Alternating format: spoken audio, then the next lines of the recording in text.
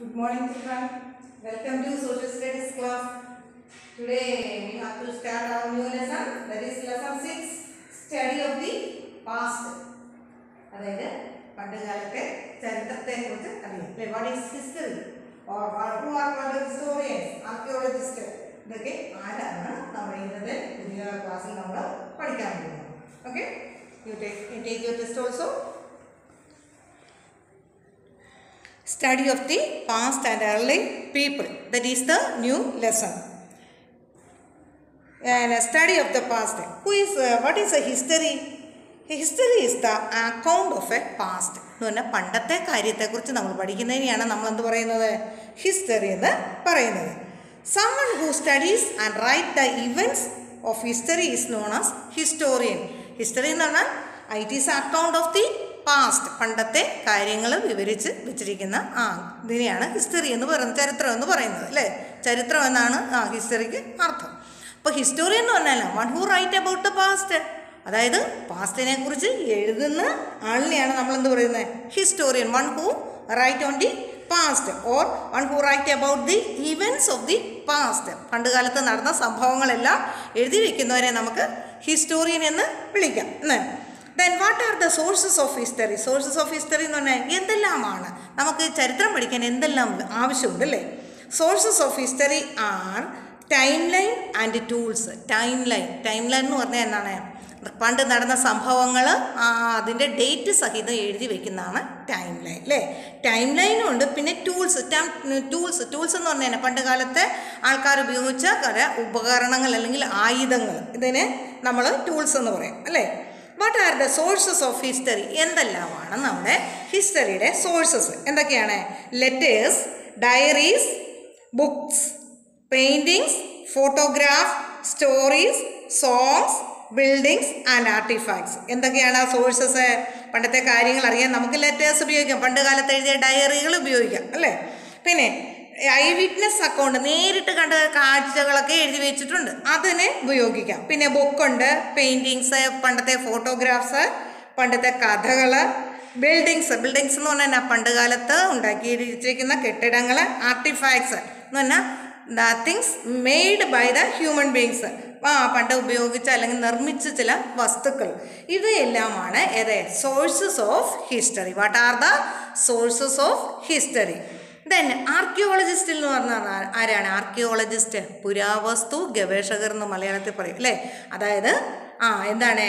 One who studied about the tools bones buildings and things in the past അതായത് one who studied about the past പണ്ടത്തെ കുറി പണ്ടത്തെ കാലത്തെ ആയുധങ്ങളെ നാണയങ്ങളെ ഇവയെക്കുറിച്ച് പഠനം നടത്തുന്നവരെയാണ് എന്ത് വിളിക്കുന്നത്?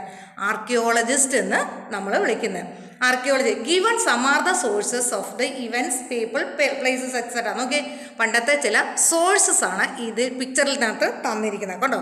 സോഴ്സസ് കണ്ടോ? ടൂൾസ് നമ്മുടെ ഇപ്പോഴത്തെ കാലത്തെ ചില ടൂൾസിനോട് സാമീപ്യമുണ്ട് അല്ലേ? ടൂൾസ് ബുക്സ് ഉണ്ടോ പണ്ടൊക്കെ എഴുതിയിരിക്കുന്ന ബുക്സുകൾ പിന്നെ കോയിൻസ് ഉണ്ടോ പലതരത്തിലുള്ള കോയിൻസ് പിന്നെ എന്താണ്? പലതരത്തിലുള്ള ആ ഉപകരണങ്ങൾ ഉപയോഗിച്ച പാത്രങ്ങൾ. ഇതിൽ നിന്നെല്ലാമാണ് നമ്മൾ എങ്ങനെ പണ്ട് കാലത്തെക്കുറിച്ചുള്ള ആ ഫോട്ടോഗ്രാഫൊക്കെ അല്ലേ? ഫോട്ടോഗ്രാഫ് ആ അതെല്ലാം പണ്ടത്തെ ആൾക്കാരുടെ ഡ്രസ്സ് അവരുപയോഗിച്ച വസ്തുക്കളെ എന്നെല്ലാം നമ്മൾ മനസ്സിലാക്കുന്നത് എന്തുകൊണ്ടാണ് ഈ സോഴ്സസിൽ നിന്നാണ് അല്ലേ?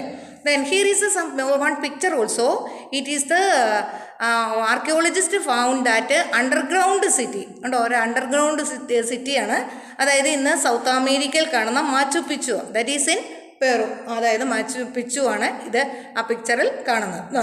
Then what is a timeline timeline എന്ന് പറഞ്ഞാൽ എന്താണ്?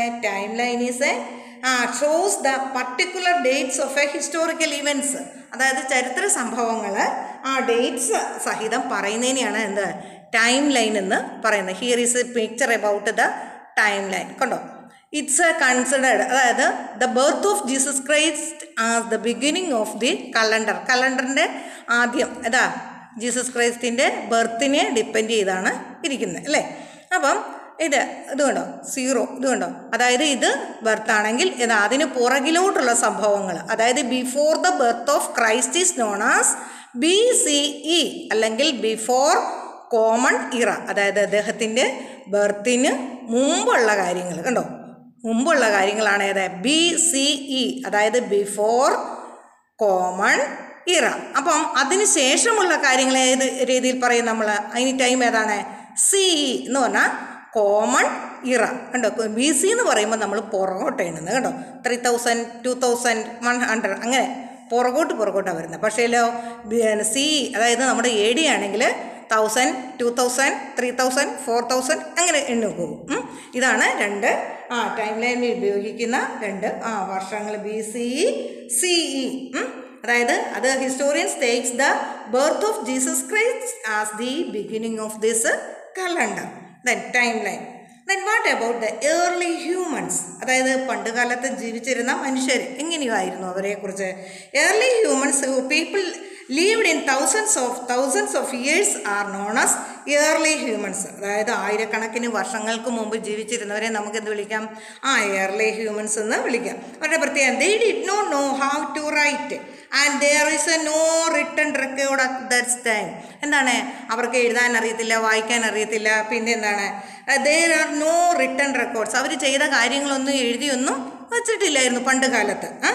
So that period is called a prehistory അപ്പോൾ അതുകൊണ്ട് എഴുതാനോ എഴുതി വയ്ക്കാത്ത ഒരു കാലഘട്ടമായിരുന്നു. അതുകൊണ്ട് അതിന് ആ കാലഘട്ടത്തിന് ഒരു പേരുണ്ട് എന്താണ് പ്രീ ഹിസ്റ്ററി അപ്പോൾ what is prehistory there is no recon written records at that time that period is called prehistory the period is a written records ഇപ്പോൾ എന്താണ്? നമുക്ക് എഴുതപ്പെട്ട ഗ്രന്ഥങ്ങളുണ്ട് അല്ലേ അതുകൊണ്ട് ഈ now this time we called as a history അപ്പം what is a prehistory prehistory എന്ന് പറഞ്ഞാൽ there is no written record the history called it's a period of written records that period is called history that are ആ that we studied no that difference between prehistory and history then home of early humans അവരെവിടെയാണ് താമസിച്ചിരുന്നത്? പണ്ടുകാലത്തെ പണ്ട് കാലത്തെ ആൾക്കാർ and early humans lived in caves rocks or branches of a tree അല്ലേ? ഒരു മര മരങ്ങളിലോ അല്ലെങ്കിൽ എന്താണ് ഗുഹകളിൽ പിന്നെ വലിയ റോക്സ് കൊണ്ടുള്ള വലിയ അതായത് റോക്സ് കൊണ്ടുള്ള വലിയ മാളങ്ങൾ പോലെ ഉണ്ട്. ആ അങ്ങനെയുള്ള സ്ഥലങ്ങളിലൊക്കെയാണ് അവർ താമസിച്ചിരുന്നത്. So this way they protected അതായത് ഗുഹകളിലൊക്കെ താമസിച്ചു. അങ്ങനെയാണ് അവർ റെയിനിൽ നിന്നും പിന്നെ കാറ്റിൽ നിന്നും അല്ലെ ചൂടിൽ നിന്നും അല്ലെ വന്യമൃഗങ്ങളിൽ നിന്നും ഒക്കെ രക്ഷപ്പെട്ടത് അങ്ങനെയായിരുന്നു അല്ലേ? Then what about their food habits അവരുടെ ആഹാര രീതി എങ്ങനെയായിരുന്നു ദേ വർ ഹണ്ടർ ഗാദേഴ്സ് എന്ന്? പറഞ്ഞാൽ they moved from place to place in search of water shelter and food അതായത് ഒരു സ്ഥലത്തു നിന്നും മറ്റൊരു സ്ഥലത്തേക്ക് അലഞ്ഞു തിരിഞ്ഞ് നടന്നിരുന്നു. അതായത് അവർക്ക് ഫുഡ് ആഹാരം വേണമെങ്കിലും വെള്ളം വേണമെങ്കിലും കിടക്കാൻ ഇന്ന് കിടക്കുന്നിടത്തല്ല അവർ നാളെ കിടക്കുന്ന പല സ്ഥലങ്ങളിൽ അലഞ്ഞു തിരിഞ്ഞ് നടക്കുകയായിരുന്നു കേട്ടോ. അപ്പം അതുകൊണ്ട് അവർക്കൊരു പേരുണ്ട്. എന്താണ്? ഹണ്ടർ ഗാദേഴ്സ് അല്ലെങ്കിൽ they also called nomads nomads means അലഞ്ഞു തിരിഞ്ഞ് നടക്കുന്നവർ അപ്പോൾ അവരുടെ ഫുഡ് എന്തൊക്കെയായിരുന്നു? എന്തൊക്കെയായിരുന്നു അവരുടെ ഫുഡ് ആ fruits roots of a plant fish birds small animals that are eaten in raw അതായത് ഫ്രൂട്ട്സ് കഴിച്ചിരുന്നു. റൂട്ട്സ് എന്ന് പറഞ്ഞാൽ ചില ചെടികളുടെ വേരുകൾ അല്ലേ? പിന്നെ എന്താണ്? Fish birds. അപ്പോൾ ഈ ഫിഷും ബേർഡ്സും ഒക്കെ എങ്ങനെയാണ് തിന്നുന്നത് ഈറ്റൺ റോ പച്ചക്കാണ് കഴിഞ്ഞിരുന്നത് ആഹാരം പാകം ചെയ്തിരുന്നോ? ഇല്ല. അവർ പച്ചക്കായിരുന്നു ഈ ആഹാരങ്ങളെല്ലാം കഴിച്ചിരുന്നത് അല്ലേ? Tools about the early humans കൊണ്ടോ? ഒരു പിക്ചർ കൊണ്ടോ? ടൂൾസ് അവരുടെ പണ്ടത്തെ ആയുധങ്ങളായിരുന്നു കൊണ്ടോ? അതായത് എന്തിനാണ് to protect from wild animals എന്തിനാണ് ഈ ആയുധങ്ങളൊക്കെ കരുതിയത്? ആ വന്യമൃഗങ്ങളുണ്ട്. അപ്പം അവരിൽ നിന്നും രക്ഷ നേടാനായിട്ട് അത് വരും വരുമ്പോൾ ഓടിക്കാനും ഒക്കെയാണ് ഈ ടൂൾസ് ടൂൾസ് എന്ന് പറഞ്ഞാൽ ഉപകരണങ്ങളും ആയുധങ്ങളും ഒക്കെ ഉപയോഗിച്ചിരുന്നത്. ഹെവി സ്റ്റോൺസ് ആയിരുന്നു അല്ലേ? എന്തിനാണ്? ടു ത്രോൺ അറ്റ് ആനിമൽസ് വലിയ പാറക്കഷ്ണങ്ങളൊക്കെയാണ്. കണ്ടോ? എല്ലാം പല പോളിഷ്ഡ് ചെയ്ത ആയുധങ്ങളൊന്നും അല്ലായിരുന്നു. അതായത് വലിയ കല്ലുകളെടുത്ത് ആ മൃഗങ്ങളെ എറിഞ്ഞു ഓടിച്ചിരുന്നു. പിന്നെ they later they made sharp stones പിന്നെ കണ്ടോ? പിക്ചറിൽ കാണുമ്പോൾ നമുക്കറിയാം അല്ലേ? ആദ്യമൊക്കെ വലുത് അത് കഴിഞ്ഞ് അതിന്റെ ഷേപ്പ് വ്യത്യാസപ്പെട്ട് ഇതൊരു കൂർത്ത അറ്റമുള്ള ആയുധങ്ങളെല്ലാം ഉപയോഗിക്കാൻ തുടങ്ങി. The attached sharp stones to poles വലിയ കമ്പുകളിൽ ആ ഇങ്ങനെ ചെറിയ കല്ലുകൾ കെട്ടി ആ ആയുധമായിട്ട് അവർ ഉപയോഗിച്ചിരുന്നു. Then what about their communication communication എന്ന് പറഞ്ഞാൽ അവർ പരസ്പരം എങ്ങനെയാണ് സംസാരിച്ചിരുന്നവൻ? ഫസ്റ്റ് ഗ്രൻസ് ഗ്രൻസ് എന്ന് പറഞ്ഞാൽ ലോ സൗണ്ട് ആദ്യം സൗണ്ടുകൾ പുറപ്പെടുവിച്ചിരുന്നു. പിന്നെയോ സൗണ്ട് ഓഫ് വേരിയസ് തിങ്സ് പല പ്രകൃതിയിൽ കണ്ട പല ആയുധങ്ങളുടെ പല പക്ഷികളുടെയും ഒക്കെ സൗണ്ട് അവർ ആദ്യം അനുകരിച്ചിരുന്നു. ദെൻ സൗണ്ട്സ് ടു കമ്മ്യൂണിക്കേറ്റ് പിന്നെ എന്ത് ചെയ്തു? ആദ്യം ഗ്രൺസ് ആൻഡ് ഹാൻഡ് സൈൻ കൈ കൈ കൊണ്ടുള്ള ആംഗ്യങ്ങളൊക്കെ കാണിച്ചു. ഹാൻഡ് സൈന് അത് കഴിഞ്ഞ് എന്നാ സൗണ്ട് പുറപ്പെടുവിച്ചു.